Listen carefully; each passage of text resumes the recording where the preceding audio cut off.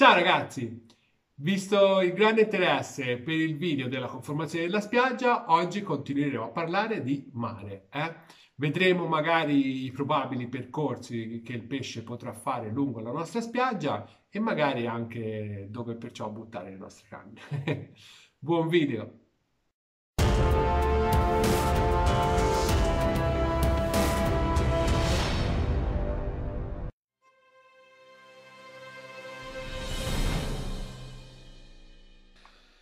Bene ragazzi, dunque diamo un'occhiata appunto a questo mare. Eh? Sì, lo so, purtroppo è solo una fotografia. Ahimè, eh, siamo tutti molto dispiaciuti da non poter tornare a pescare, eh, ma speriamo di farla più presto. Per adesso, insomma, accontentiamoci di vederlo in foto. Dai, che prima o poi eh, speriamo torneremo presto al nostro amato mare. Io allora analizzerei eh, questa foto di mare eh, tendenzialmente mosso, perciò magari più semplice individuare determinati, diciamo così, mh, mm, schiume, canali, passaggi, eccetera. Allora, io partirei di evidenziare per primo con questo cerchio ellisse rosso i punti dove c'è appunto questa eh, schiuma, perciò dove il mare tendenzialmente è più basso e perciò eh, diciamo così eh, le onde che arrivano dal largo si infrangono su questo fondale più basso creando appunto questa, eh, questa schiuma e eh, in questa schiuma proprio perché il mare chiaramente è più basso ci sarà appunto diciamo così eh, la nostra sabbia che sarà smossa e perciò i detriti eh, organici magari il cibo perciò contenuto in essa eh, si alzerà diciamo così nel, nella schiuma e magari verrà portato nei punti diciamo così e cadrà nei punti di mare più calmo perciò nei magari passaggi nei canali nelle buche insomma in quei punti dove anche nel video che abbiamo fatto precedente della conformazione della spiaggia e di capire appunto come è eh, davanti a noi il mare, eh, potremmo trovare appunto questi eh, maggiormente questi eh, diciamo così eh, sedimenti organici, questi, questo cibo per il nostro pesce. Allora, io partirei subito da una situazione abbastanza eh, tipo, che potrebbe essere questa, perciò individuare prima una corrente, che io la indico con questa freccia verde, una corrente appunto che da destra va verso sinistra, e eh, chiaramente eh, il nostro pesce, eh, ora qui ci sono delle teorie, ma anche un vecchio proverbio che a me eh, piace molto eh, ricordare, che dice che solo un pesce morto nuota a favore di corrente, perciò mettiamo che il nostro pesce vada controcorrente e dunque venga da sinistra verso destra. Eh? Perciò partiamo da questo lato dello schermo, il nostro pesce appunto arriverà, magari starà già perlustrando la zona oppure eh, starà arrivando da fuori e decide appunto di entrare a vedere in questi canali, diciamo così, eh, sotto riva, diciamo così, più vicino a riva, passando anche magari come vedete in questo bel canalone, riavvicinandosi magari a riva, scavallando appena questa secca entrando in questa buca per poi riprendere magari in quest'altro canale. Passerà appunto da qui per vedere se c'è del cibo eh, portato appunto eh, da, da, da, dal movimento appunto di questa eh, sabbia in queste eh, correnti, eh, in queste appunto secche più basse. Oppure potrà decidere a secondo di come di poter passare magari eh, sopra a queste secche, perciò fare un giro magari più ampio. Eh, perché anche questo? Perché in definitiva poi ci sono anche dei punti di passaggio, chiaramente tutta l'acqua che poi arriva, arriva dovrà in qualche modo defluire, perciò ci saranno anche delle correnti che magari porteranno eh, l'acqua appunto di nuovo all'esterno e magari il pesce potrà trovare appunto del cibo anche diciamo così in queste correnti di reflusso e perciò eh, trovare magari del cibo eh, anche più all'esterno. Eh? Eh, questo chiaramente mh, sono dei passaggi qui, qui il pesce potrebbe anche trovare il cibo e perciò decidere di andare appunto a ispezionare de- la provenienza di questo cibo e perciò di rientrare un'altra volta più a riva.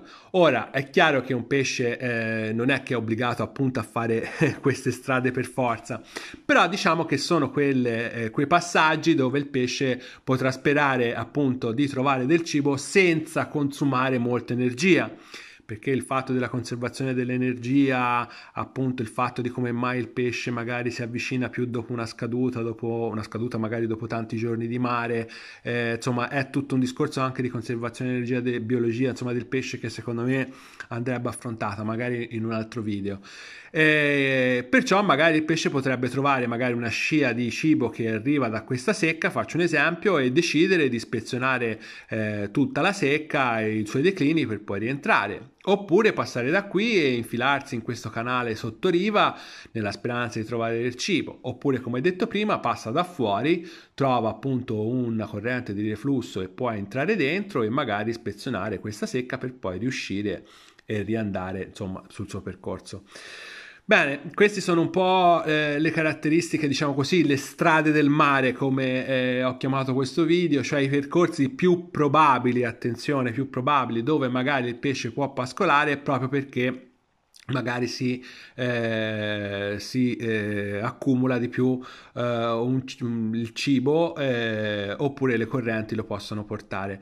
Ora è chiaro eh, che come dico sempre io ehm, per fare questo e per individuare questo bisogna avere molta pazienza, perciò quando arriviamo sulla spiaggia eh, specie insomma con il mare mosso, così come una rondine non fa primavera, magari una, una schiumata non è indice che lì ci sia l'acqua bassa, perciò bisogna osservare il mare e questo insomma l'ho visto fare a molti pescatori anche eh, di livello soprattutto eh, che osservano il mare minuti, minuti, minuti, eh, cercano di capire bene dov'è che sono appunto questi punti di acqua più bassa, di turbolenza cercano di capire, di capire, bene appunto dove sono eh, i passaggi, i canali, insomma i punti dove magari è più probabile che col deposito del cibo si possa eh, trovare il pesce, diciamo così, in pascolo o di passaggio. Eh.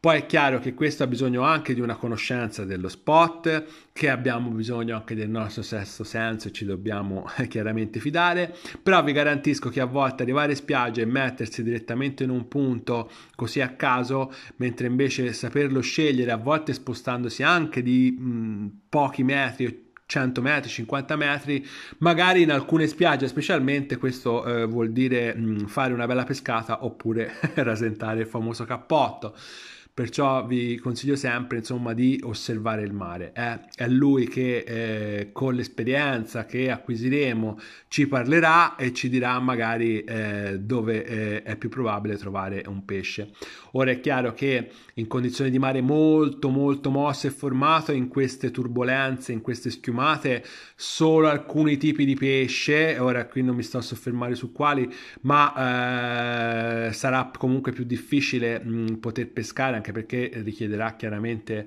eh, un impegno maggiore, eh, magari ecco con scadute o con mare meno formato, a volte invece questi punti di, eh, diciamo così, di, di sabbia smossa eh, possono essere anche frequentati, come dicevo prima, eh, da, a, dai nostri pesci. Ora, queste sono un po', eh, diciamo così, le linee generali, eh? poi chiaramente eh, sta a noi adattarle al nostro spot e alle nostre abitudini, come sempre.